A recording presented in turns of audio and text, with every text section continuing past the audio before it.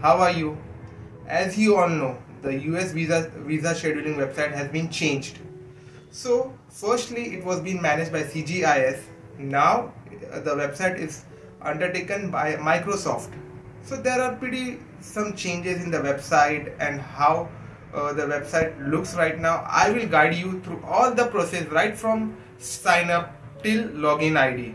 So I have shared the new web, uh, website link down below in the description box. You can look for it and click on that link and it will take you to the new website portal of the US visa scheduling.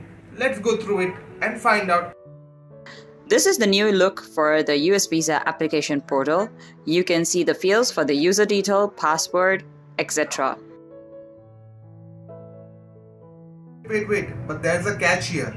Those who have earlier registered through CGIS account, now you can use your old uh, user ID logins for sign up. But for that, you have to uh, go to sign up process first enter your old registered uh, email account and then follow the procedure as shown in the video down below. Let us start with the sign up process. Let's fill in the user details, the username field, then the password, then confirm your password. Please enter your email address in the field given under the email address. If you're an old applicant, you'll have to repeat the email address that you've used in the previous portal. A verification code will be sent on your email address. Please enter your given name as per your passport. Enter your surname as per your passport. Then you have to answer three security questions. The answer to these questions need to be remembered. If you cannot remember them, it is advised to write them down. These questions are essential when you're signing in after sign up process, you will be directed to a sign in page. You have to enter the same details for username, password. A captcha will be given to you. Then you click on the sign in page. Make sure you write the captcha properly. After clicking on sign in, you will be directed to a page where you'll have to answer the security questions as you can see on the screen. So two security questions, any two security questions will be asked. Enter the answers correctly. After signing in, you will be directed to this page. You have to click on continue application, which will direct you to a page of visa options. Post visa category is business tourism. Then for visa class tag, you'll have to go through the options that is given to you. Most of the times we select the option of B1, B2 visa.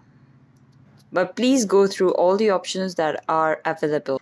Enter your DS160 confirmation number if you registered with your old email account, all your old details, visa appointment, everything will come under this new website, which is now being displayed in the portal below.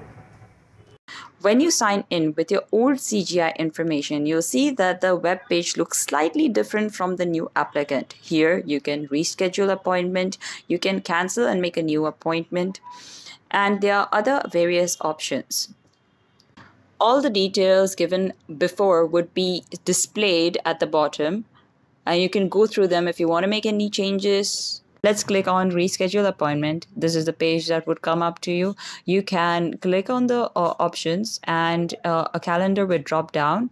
You can select the date and the time that would be preferable to you.